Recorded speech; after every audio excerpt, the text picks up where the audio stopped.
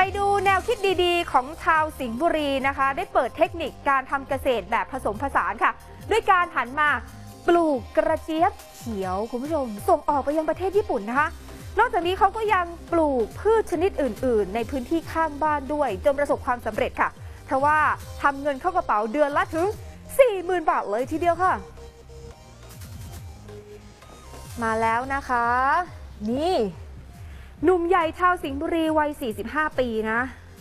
เนรมิตพื้นที่ 4 ไร่ข้างบ้านพักพิกัดหมู่ที่ 2 ตำบลหัวไผ่อำเภอเมืองจังหวัดสิงห์บุรีนะ เนรมิตที่กลายมาเป็น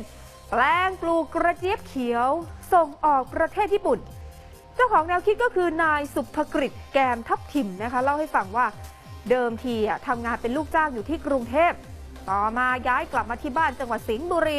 เพื่อจะได้มีเวลาดูแลคุณพ่อคุณแม่ที่ สูงอายุมากแล้วนะคะ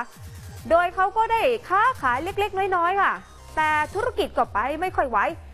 สุดท้ายหันกลับมาทำการเกษตรแบบผสมผสานค่ะด้วยการปลูกพืชหมุนเวียนตามความต้องการของตลาดนะ ปลูกทั้งดอกดาวเรือง หน่อไม้ฝรั่ง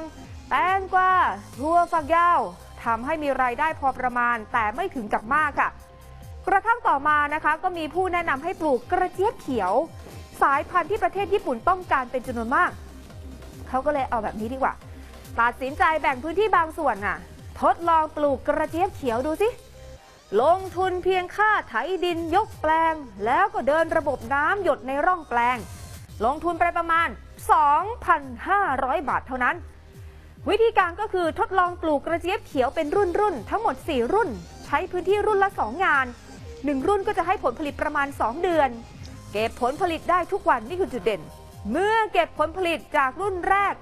ครบ 2 เดือนแล้ว กระเจี๊ยบรุ่นที่ 2 ก็เริ่มให้ผลผลิตได้ ไล่ตามๆกันมา ส่วนแปลงรุ่นที่ 1 นะคะ เขาก็ต้องรื้อแปลงออกเลยนะคะแล้วก็เตรียมปลูกรุ่นที่ 5ทำต่อไปเช่นนี้หมุนเวียนกันไปเพื่อให้ผลผลิตออกมาอย่างต่อเนื่อง ตอนนี้เขามีกระเจี๊ยบเขียวนะคะ เก็บส่งขายได้ทุกวัน มีพ่อค้าที่นำพันกระเจี๊ยบมาให้ด้วย มารับซื้อในราคาประกัน กิโลกรัมละ 23 บาทเท่านั้นนะ มีรายได้ 400ถึง600 บาทต่อวันกันเลยทีเดียวนะ นอกจากนี้ค่ะก็ยังมีรายได้จากการปลูกแตงกวาด้วย ปลูกดอกไม้ฝรั่งเสริมอ่าเขาก็ได้รายได้ตรงนี้เพิ่มเติมเข้ามาทำให้มีรายได้รวมๆกันแล้วคุณผู้ชมค่ะไม่ธรรมดา 40,000 บาทต่อเดือน ก็นับว่าเป็นอีกหนึ่งอาชีพทำเงินปัง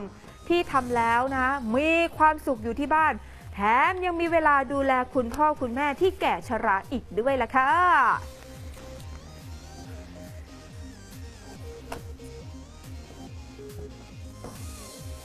ขอบคุณสำหรับการติดตามรับชมรายการเรื่องดีๆ ทั่วไทยนะคะ คุณผู้ชมอย่าลืมเข้าไปกด subscribe กดกระดิ่ง กดไลค์ กดแชร์ ในทุกช่องทางออนไลน์ของ TNN ช่อง 16 นะคะ เพื่อให้ไม่พลาดการติดตามรับชมรายการสด และคลิปวิดีโออื่น ๆ ที่น่าสนใจอีกมากมายเลยค่ะ